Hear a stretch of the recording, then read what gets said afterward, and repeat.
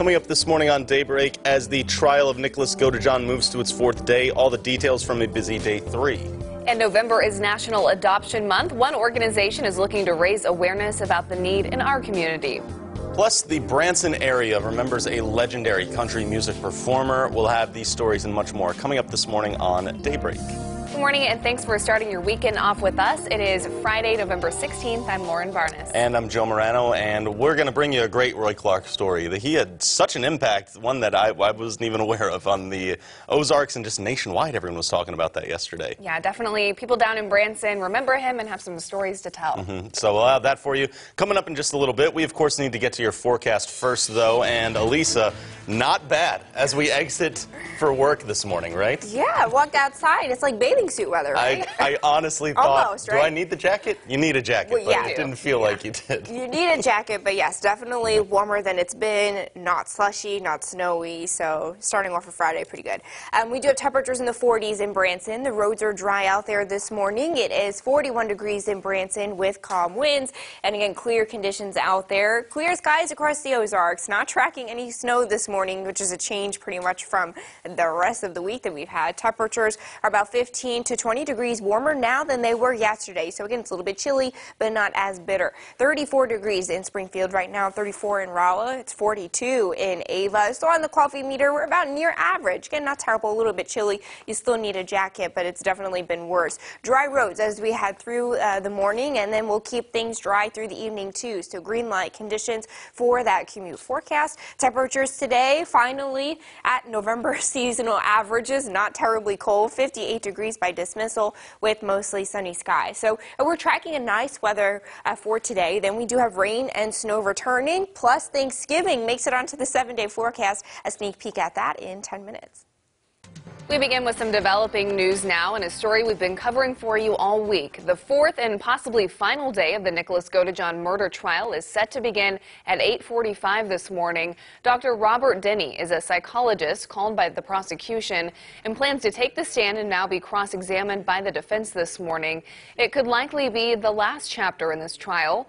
Whether a jury will convict Nicholas Godejohn of first-degree murder, meaning he contemplated and planned to kill Dee Dee, we still don't know. Yesterday, Gypsy Blanchard testified saying it was her who planned most of her mother's murder. I supplied the knife.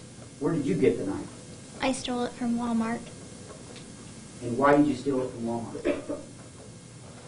Because I didn't see a knife that was sufficient enough in our own home. And at this point, there is still a chance for Nicholas Godejohn to testify. We'll keep you updated here on air throughout the day and online. Moving on now to some more local news. Springfield's Convoy of Hope is deploying several trucks with supplies to help those affected by wildfires in California.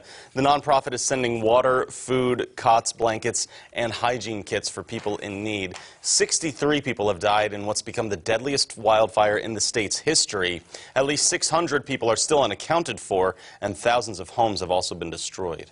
More than a thousand children in the state of Missouri are in need of a permanent family. And yesterday, Lutheran Family and Children's Services held an event in Springfield to raise awareness during this National Adoption Month. Guests were invited to take a tour of its office and learn what the organization has done for kids in care over the last 150 years. Those services include helping struggling pregnant women, parenting education, helping parents get licensed, and providing necessities for kids who come into the system. Right now, there are 13 1,000 children in foster care in Missouri. Regional Director Melanie Engel explains the need in our community.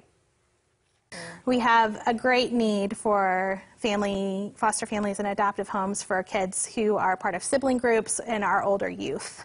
It's a big need in our community.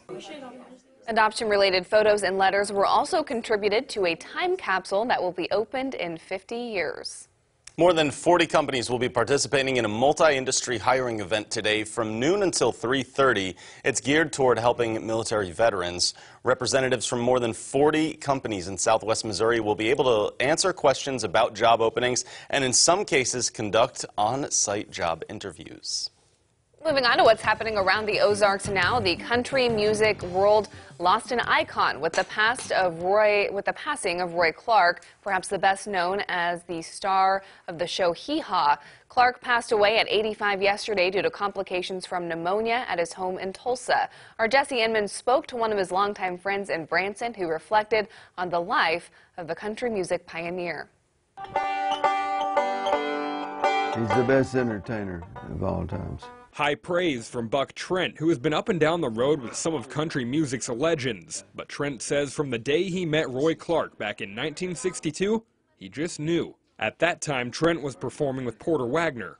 We're at Kansas City, and they put Roy on first, and he was killing the people. So I run and got Porter, and I said, Porter, I said, come here, quick. I said, there's a little fat boy up there killing these people. From then on, it was one achievement after the next. Las Vegas, we would do three weeks at a time, two shows a night. We played for the president, President Ford, the first country artist to go to Russia. In the Grand Ole Opry, oh yeah. Of course, the Hee Haw show was great. Right here, this, yeah, this was at Hee Haw, the Hee Haw reunion. Trent says Clark's knack for comedy made him a natural fit for the skit show, and it's a trait he never lost. They called me about a week, week and a half ago. Said, Buck, Roy's asking for you. Trent made the trip to Tulsa to say goodbye. And so he's, he's trying to talk, you know. And he said, little fat boy, little fat boy.